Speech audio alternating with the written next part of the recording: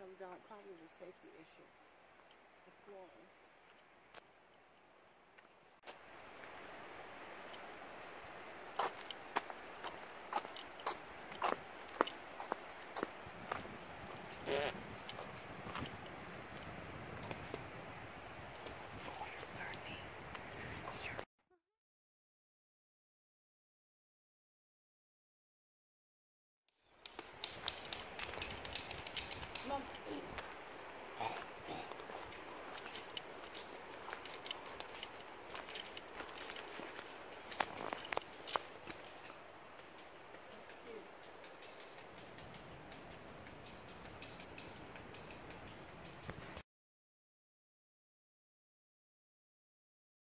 Date.